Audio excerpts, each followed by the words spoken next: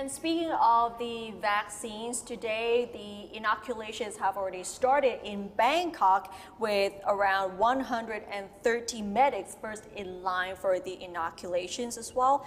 Bangkok Governor Aswin Kwan Mueang visited the Bang Khun Thieng Geriatric Hospital today to observe the inoculation program after the government has allocated around 66,000 doses of the Sinovac vaccines to Bangkok. The other two hospitals were Ratchapipat Hospital in Bang Khet District and Luang Por Thavisak Hospital in Nong Kham District.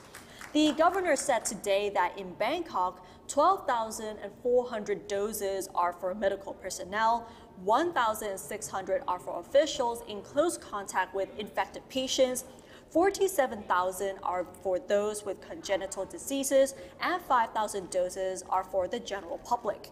As for the next stage of the inoculation program in Bangkok, the vaccines will cover 16 hospitals under the Bangkok Metropolitan Administration, including private hospitals.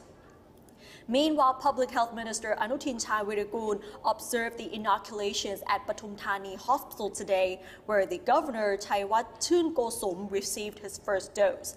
Pathum Thani received 8,000 doses of COVID-19 vaccine, 3,000 doses are for frontline medical personnel, 2,000 are for those working in close contact with the infected patients, 2,000 for those with congenital diseases, and 1,000 doses for the general public. And at the same time, yesterday, Samut Sakhon also began its inoculation program after its first lot of around 20,040 doses of the Sinovac vaccine arrived at the provincial hospital. The first person that got vaccinated was the deputy governor of the province, Thirapat Khatchamat. Samut Sakhon province has been allocated 70,000 doses of the vaccine. 80,000 are for those at the frontline medical personnel, 6,000 are for officials in close contact with infected patients, 46,000 for those with congenital diseases, and 10,000 doses for the general public. So we can see that the inoculations have been kicked off since yesterday, and for today, it's Bangkok and Thani.